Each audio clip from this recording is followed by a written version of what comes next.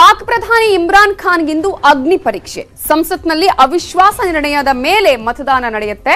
ಇವತ್ತು ವಿಶ್ವಾಸ ಮತಯಾಚನೆಯನ್ನ ಮಾಡಬೇಕಾಗಿದ್ದೆ ಇಮ್ರಾನ್ ಖಾನ್. ಪಾಕ್ ಪ್ರಧಾನಿ ಇಮ್ರಾನ್ ಖಾನ್ಗೆ ಇವತ್ತು ಅಗ್ನಿ ಪರೀಕ್ಷೆ. ಯಾಕಂದ್ರೆ ಸುಪ್ರೀಂ ಕೋರ್ಟ್ನಲ್ಲಿ ಈ ಒಂದು ವಿಚಾರಕ್ಕೆ ಸಂಬಂಧಪಟ್ಟ ಹಾಗೆ ಆತನಿಗೆ ಹಿನ್ನಡೆ ಕೂಡ ಆಗಿದೆ. ಸುಪ್ರೀಂ ಕೋರ್ಟ್ ಸೂಚನೆ ಮೇರೆಗೆ ವಿಶ್ವಾಸದ ಮತಯಾಚನೆಯನ್ನ ಮಾಡಬೇಕು. ಮತಯಾಚನೆಯಲ್ಲಿ ಇಮ್ರಾನ್ ಖಾನ್ ಗೆಲುವು ಬಹುತೇಕ ಅನುಮಾನ. ಸೋತ್ರೆ ಇಮ್ರಾನ್ ಖಾನ್ ಅವರಿಂದ ಇತಿಹಾಸ ನಿರ್ಮಾಣ ಆಗುತ್ತೆ. ವೋಟಿಂಗಿಗೂ ಮುನ್ನವೇ ರಾಜೀನಾಮೆಯನ್ನ ಕೊಡ್ತಾರಾ ಇಮ್ರಾನ್ ಖಾನ್ ಅನ್ನುವಂತಹ ಒಂದಷ್ಟು ಪ್ರಶ್ನೆಗಳಿದೆ.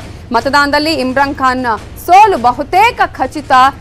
ಸ್ವಂತ ಪಕ್ಷ ಪಿಟಿಐ ಸದಸ್ಯರಿಂದಲೇ ಇಮ್ರಾನ್ ವಿರುದ್ಧ ಬಂಡಾಯ ಎದ್ದಿರುವಂತಹ ಹಿನ್ನೆಲೆಯಲ್ಲಿ ಪ್ರಮುಖವಾಗಿ ಅವರಿಗೆ ಮತ್ತೆ ಉತ್ತರಾಧಿಕಾರಿಯನ್ನ ಮಾಡುವಂತಹ ಪ್ರಯತ್ನಗಳಾಯಿತು. ಆದರೆ ಅದ್ಯಾವುದಕ್ಕೂ ಕೂಡ ಸುಪ್ರೀಂ ಕೋರ್ಟ್ ಮಣೆ ಹಾಕಲಿಲ್ಲ.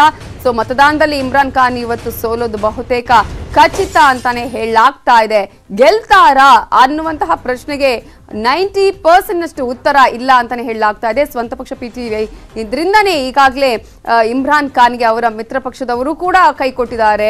ಪಾಕ್ ರಾಷ್ಟ್ರೀಯ ಅಸೆಂಬ್ಲಿಯಲ್ಲಿ ಮೂರು ಬಾರಿ ಅವಿಶ್ವಾಸ ಗೊತ್ತುವಳಿಯನ್ನು ಮಾಡಿ ಹಿಂದೆ ಎರಡು ಸಲ ವಿಶ್ವಾಸಮತ ಯಾಚನೆಗೂ ಮುನ್ನವೇ ರಾಜೀನಾಮೆಯನ್ನ ಕೊಟ್ಟಿದ್ರು. ವಿಶ್ವಾಸಮತ ಯಾಚನೆ ಸಾಧ್ಯವಾಗದೆ ರಾಜೀನಾಮೆ ನೀಡಿದ್ರು. ಈ ಸಲ ಮತ್ತೆ ಅದೇ ಹಿಸ್ಟ್ರಿ ರಿಪೀಟ್ ಆಗತ್ತಾ ಅನ್ನುವಂತಹ ರೀತಿಯಲ್ಲೇ ಚರ್ಚೆಗಳು ನಡೀತಾ ಇದೆ. ಏನಾಗತ್ತೆ ಕಾದು ನೋಡೋಣ.